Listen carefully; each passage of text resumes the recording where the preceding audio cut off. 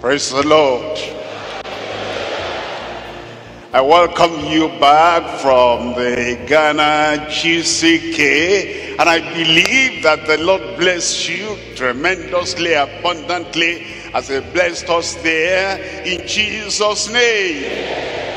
Really, really, did the Lord bless you? Where are you? The blessing, the permanent in Jesus' name. Since we came back from Accra, Ghana, we've been hearing spectacular, spectacular testimonies. Apart from what happened at the crusade field, a lot of things happened and their testimonies, their miracle, spontaneous. Not, wait, God is coming. God was there and he was there promptly to bless the people and to break every chain and to destroy all the works of the devil. Then the people did uh, something they no, don't normally do in other places. After we had finished and we came back, they were to leave very early because of the flight. And as we came to the airport, uh, some of the people, uh, the security person told me, some people are here to see you for prayer. I thought we had done all the prayer at the crusade field. And then uh, they brought, I said, uh, just, we don't have much time. They said they'll be very quick. And they brought them in batches, this batch and this batch and this batch. I was thrown inside my heart. When are these people going to finish? They want us to start another crusade here. And then they brought them in batches. And all those batches were prayed, were prayed, were prayed. I mean, I prayed. Um, and then this particular batch, almost the last one, they brought this child. And the child could not walk, could not talk don't act as if you have heard, because I know you've seen it online. And, uh, and then we prayed. And so I said, God bless you. And, and, and didn't have time to touch the people. They just stayed there. You know, like we used to do at Gbagada after the service. I'm recording this now.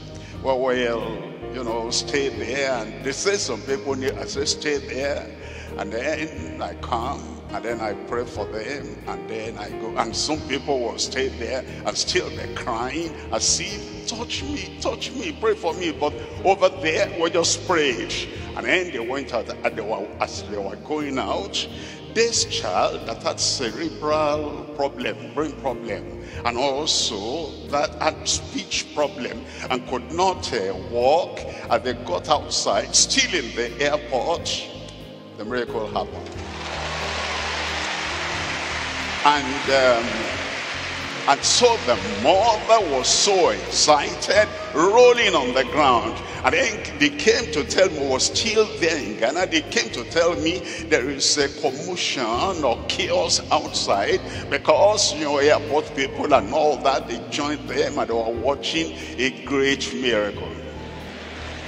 It will happen in your life. And then, and then, we now came back here and somebody sent a message yesterday and said that uh, there was another one that had real, I think the bone was broken, or, oh, sorry, did it have bone in the leg? Rubber, flesh. And they called yesterday, they sent yesterday to say bone has come back to that leg. And then another one mental, having mental problem. Actually the wife of a pastor, a leader, mental problem. And they came to the airport too. And by the grace of God now, we're told that what she wasn't able to do before, household things and everything, talking, uh, everything normal, miracle upon your life. And so the message today is not going to be based on the Exodus we studied. We're making a special study of believers, praiseworthy pursuit after God's glorious visitation. We're celebrating God's glorious visitation upon your life, upon my life, upon our church, everywhere in Jesus' name you must have today, you must have the foretaste of your own visitation.